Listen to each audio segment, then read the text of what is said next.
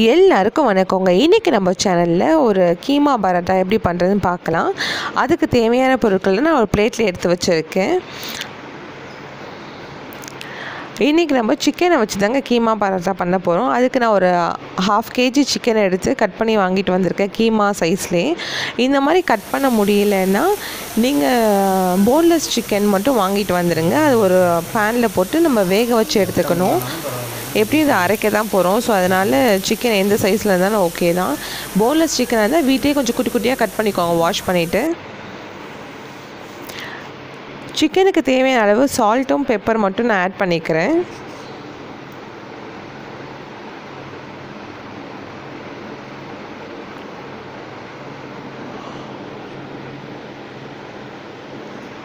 மிளகுத்தூள். நம்ம வெறும் பேனில் தாங்க அதாவது ட்ரை ரோ ட்ரை ஃப்ரை தான் பண்ண போகிறோம் நம்ம ஆயிலோ இல்லை தண்ணியோ எதுவும் ஆட் பண்ண போகிறதில்ல சும்மா பேனில் போட்டு நம்ம வதக்கிட்டே இருந்தோம்னா சிக்கன்லேருந்தே கொஞ்சம் தண்ணி வந்து லூஸ் அவுட் ஆகும் வெளியே வரும்.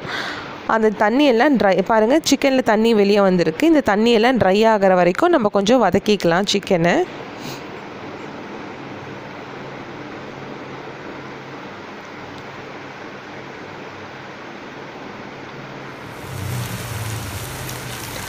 பாருங்கள் சிக்கனோட கலர்லாம் மாறி எல்லாம் கொஞ்சம் ஒயிட் கலராக வந்துருச்சு. நம்ம ஸ்டார்டிங்கில் போடும்போது சிக்கனோட கலர் வந்து பிங்க் கலராக இருந்தது. இப்போ நல்லா வெந்து வந்துருச்சு. இன்னும் கொஞ்சம் ஈரப்பாசு தெரியுது இல்லையா? அந்த ஈரம்லாம் நல்லா ட்ரை ஆகிற வரைக்கும் நம்ம வச்சுக்கலாம். அது ட்ரை ஆகிடுச்சு நம்ம ஒரு கடாயில் ஒரு ரெண்டு ஸ்பூன் எண்ணெய் ஆட் பண்ணி நம்ம தேவையான பொருட்கள்லாம் ஒரு பிளேட்டில் எடுத்து வச்சுருந்தோம் இல்லையா? அதுலேருந்து நான் ஃபஸ்ட்டு ஆனியனை மட்டும் போட்டுக்கிறேன். போட்டு நல்லா கொஞ்சம் வதக்கிக்கிறேன். ஆனியன் கொஞ்சம் கலர் மாறட்டும்.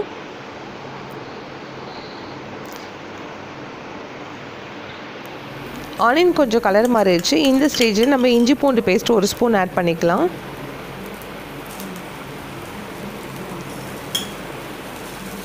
ஸ்டவ்வை கொஞ்சம் ஸ்லிம்மில் வச்சுக்கலாம் இல்லைன்னா அடி பிடிச்சிரும். இந்த கீமா பரோட்டாவுக்கு நம்ம ஃப்ரை பண்ணும்போது நம்ம தண்ணி வந்து ஆட் பண்ணக்கூடாது. இல்லைன்னா கொஞ்சம் லூஸ் ஆன மாதிரி இருக்கும். பரோட்டாக்குள்ளே நம்ம வைக்கும் போது மசாலா எல்லாம். ஒரு கால் ஸ்பூன் மஞ்சத்தூள். கரம் மசாலா ஒரு ஸ்பூன்.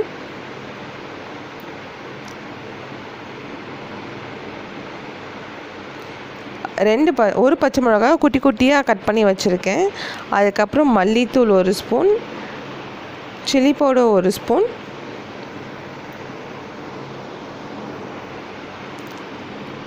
அப்புறம் பெப்பர். மசாலாலாம் பச்சை வாசனை போகிற வரைக்கும் கொஞ்சம் நல்லா வதக்கிக்கலாம். சப்போஸ் மசாலா வதங்குறதுக்கு நமக்கு அந்த அடி பிடிக்கிற அளவு இருந்தால் தண்ணி எதுவும் ஆட் பண்ணாதீங்க. ஆயில் மட்டும் கொஞ்சம் தேவையான அளவு ஆட் பண்ணிக்கோங்க.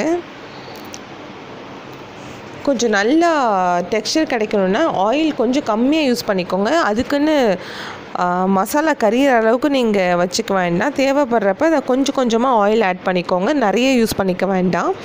நம்ம வதக்கி வச்ச சிக்கன் வந்து கொஞ்சம் ஆறிடுச்சு. இது நம்ம ஒரு வாட்டி மிக்சியில் போட்டு எடுத்துக்கலாம்.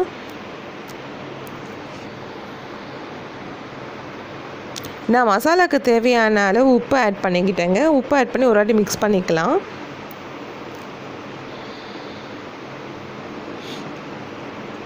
இந்த மாதிரி அரைச்சி எடுத்துக்கோங்க. இப்போ அரைச்ச சிக்கனை நம்ம வதக்கி வச்சுருக்க வெங்காயம் அதோடு சேர்த்து நல்லா மிக்ஸ் பண்ணிக்கலாம்.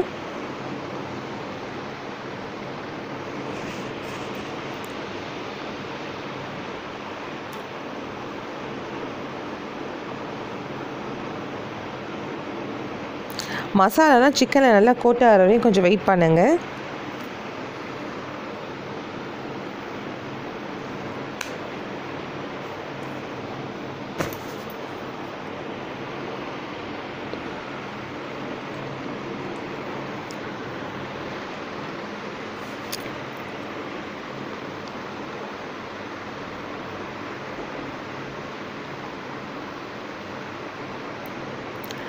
கடைசியாக இறக்கும் போது கொத்தமல்லி ஆட் பண்ணிக்கலாம். காரம் பத்தலைன்னா கொஞ்சம் பெப்பர் ஆட் பண்ணிக்கலாம். கொத்தமல்லி ஆட் பண்ணி ஒரு வாட்டி நல்லா மிக்ஸ் பண்ணிக்கலாம். ஆக்சுவலாக இது அப்படியே சாப்பிட்டாலும் சூப்பராக இருக்கும். இது கீமா சிக்கன் கீமான்னு சொல்லலாம் இது. இதை வந்து நம்ம சப்பாத்தி மாவுக்குள்ளே ஸ்டஃப் பண்ணி பராட்டா செய்ய போகிறோம் அதுக்கு நான் ஒரு அரை கிலோ மாவை எடுத்து சப்பாத்தி பழத்துக்கு நல்லா பிசைஞ்சு வச்சுருக்கேன். அதில் நான் அதை ஒரு வாட்டி நல்லா மிக்ஸ் பண்ணி கலந்துட்டு மாவை நல்லா ஒரு வாட்டி பிசைஞ்சிட்டு அதிலே ஒரு பெரிய சைஸ் உருண்டையாக எடுத்துக்கலாம்.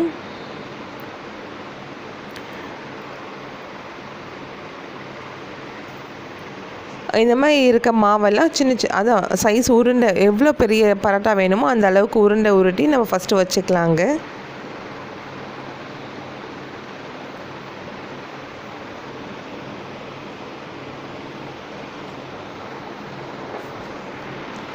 எனக்கு தேவையான அளவுக்கு நான் உருட்டி வச்சுருக்கேன். வாங்க பரோட்டா எப்படி பண்ணுறதுன்னு பார்க்கலாம். அதுக்கு சப்பாத்தி மாதிரி லைட்டாக கொஞ்சம் ஸ்ப்ரெட் பண்ணிக்கோங்க. ஓரங்களில் மட்டும் நல்லா அழுத்தி கொஞ்சம் மெலிசாக்கிக்கோங்க. நடுவில் கொஞ்சம் குண்டாக இருந்தால் பரவாயில்ல. இந்த மாதிரி லைட்டாக ஸ்ப்ரெட் பண்ணிவிட்டு நம்ம ரெடி பண்ணி வச்சுருக்க சிக்கன் கீமாவை நடுவில் வச்சுட்டு இந்த மாவை ஒரு பவுச் ஷேப்புக்கு கொண்டு வந்து நடுவில் வச்சுக்கோங்க. இந்த மாதிரி சீல் பண்ணிவிட்டு மேலே கொஞ்சம் மாவு பூசிட்டு பொறுமையாக ரொம்ப ப்ரெஷர் கொடுக்காம பொறுமையாக தேய்ச்சி எடுங்க. சுற்றி சுற்றி கொஞ்சம் ரவுண்டாகவும் கிடைக்கும் பரோட்டா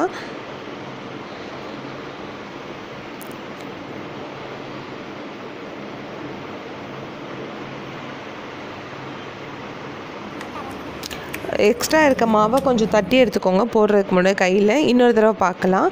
ஒரு உருண்டையை எடுத்து ஓரங்களில் மட்டும் நல்லா கொஞ்சம் மெலிசாக்கிட்டு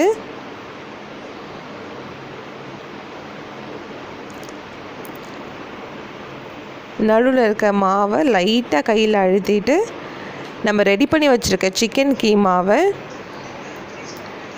நடுவில் வச்சுட்டு நம்ம ஒரு பவுச் மாதிரி அதை சீல் பண்ணிக்கலாம். ஒரு பை மாதிரி அதை மூடிக்கலாங்க.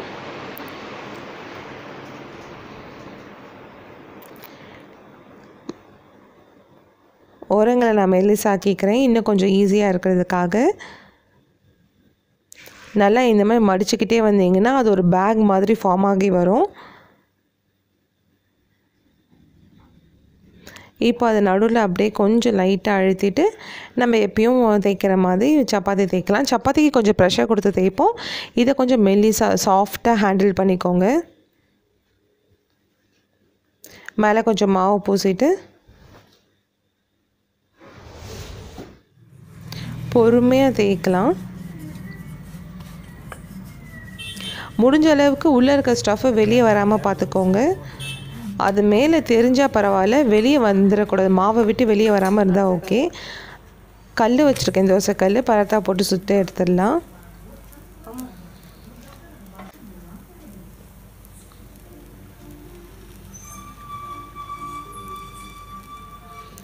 ஒரு தேர்ட்டி செகண்ட்ஸ் வச்சோன்னே நம்ம திருப்பி போட்டுக்கலாங்க.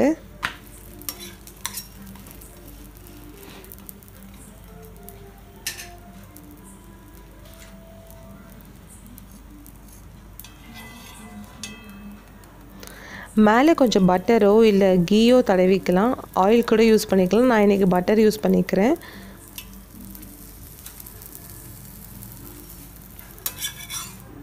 திருப்பி திருப்பி போட்டு நல்லா எல்லா இடமும் குக் ஆகி வர மாதிரி பார்த்துக்கலாம்.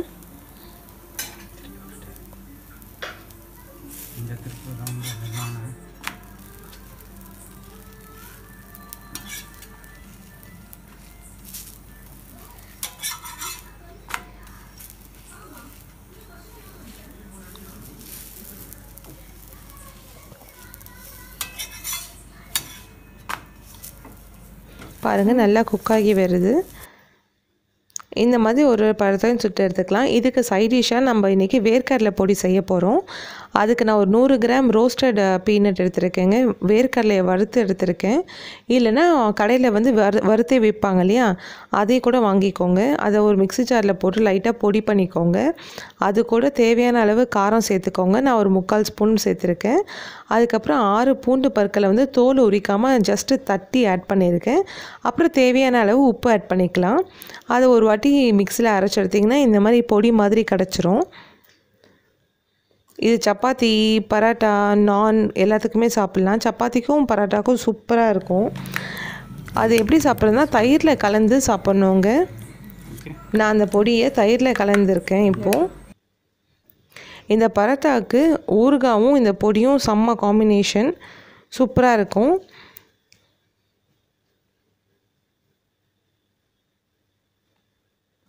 இந்த மாதிரி நம்ம வச்சுருக்க பரோட்டாவிலையும் எல்லாத்தையும் சுட்டு எடுத்துக்கலாம். நீங்கள் வந்து இந்த பரோட்டா எப்படி இருக்குன்னு ட்ரை பண்ணி பார்த்துட்டு என்னோடய கமெண்ட் செக்ஷனில் சொல்லுங்கள்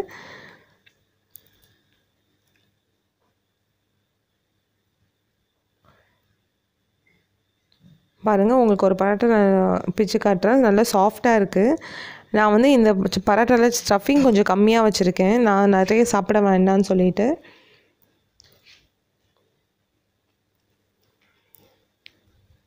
ஓகே ஃப்ரெண்ட்ஸ் கண்டிப்பாக ட்ரை பண்ணி பார்த்துட்டு எப்படி வந்திருக்குன்னு கமெண்ட்ஸில் சொல்லுங்கள் மீண்டும் உங்களை வேறு வீடியோவில் பார்க்குறேன். அன்டில் தென் பாய்